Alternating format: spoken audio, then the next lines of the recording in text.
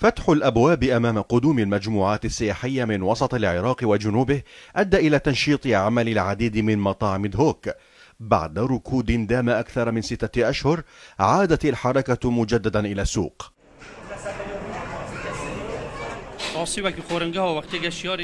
مع عودة السياح تضاعف العمل في مطعمنا 100% لدينا 25 عاملا. كان وجود خمسة منهم كافيا في السابق. لكن بقدوم عدد كبير من السياح فإن كثرة الطلبات تحتاج إلى تواجد جميع عمال المطعم.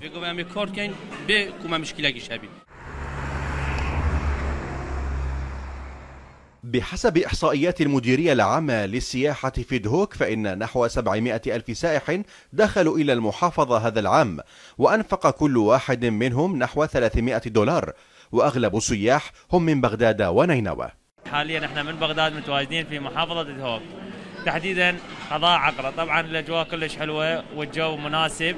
طبعا جت الفترة الأخيرة إحنا للشركات أذينا بسبب جائحة كورونا وحاليا الأوضاع رجعت تمام والجروبات مستمرة. وإن شاء الله سفراتنا مستمرة لاقليم كردستان. تعامل كلش حلو كان. كنا يعني هواية قاعدين بالصيف كله من وراء وضع كورونا وحاليا الجو حلو وجينا نشوف الأجواء حلوة وأجواء شتوية. وإن شاء الله منتظرين بعد الأجواء الشتوية والثلجية. الجهات المعنية بالسياحة شكلت لجنة خاصة لوضع تعليمات وإجراءات الوقاية من فيروس كورونا ومنها الإبقاء على مسافة معينة بين طاولات الطعام والحفاظ على قواعد التباعد الاجتماعي.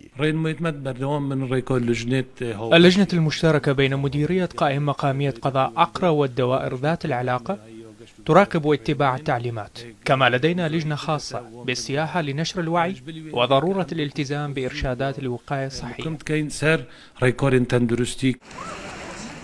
كانت خطة هيئة السياحة في إقليم كردستان تتضمن زيادة عدد السياح هذا العام إلى أربعة ملايين سائح.